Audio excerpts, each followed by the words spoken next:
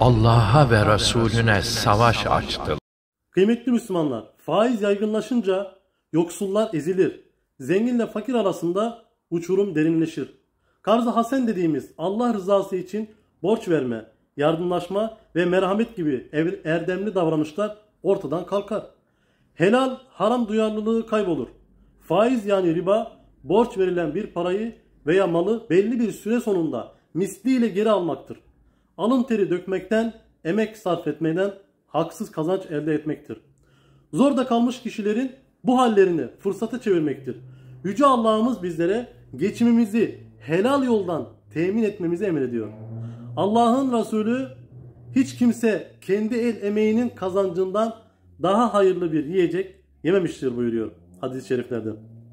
Faiz insanların mallarına kattıkları meşru olmayan fazlalıktır. Faiz dünyada da ahirette de hesabı çetin olan büyük bir günahtır. Faiz haramdır. Çünkü İslam'ın hukuk ve ahlak sisteminin temelinde yer alan hak kavramına aykırıdır.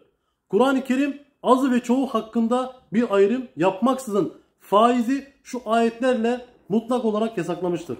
Faiz diyenler kabirlerinden şeytan çarpmış kimselerin cinnet nöbetinden kalktığı gibi kalkarlar. Bu hal onların alım satım tıpkı faiz gibidir demeleridir. Bu yüzdendir. Halbuki Allah alım satımı helal, faizi haram kılmıştır. Bundan sonra kime Rabbinden bir öğüt gelir de faizden vazgeçerse geçmişte olan kendisinindir. Ve artık onun işi Allah'a kalmıştır.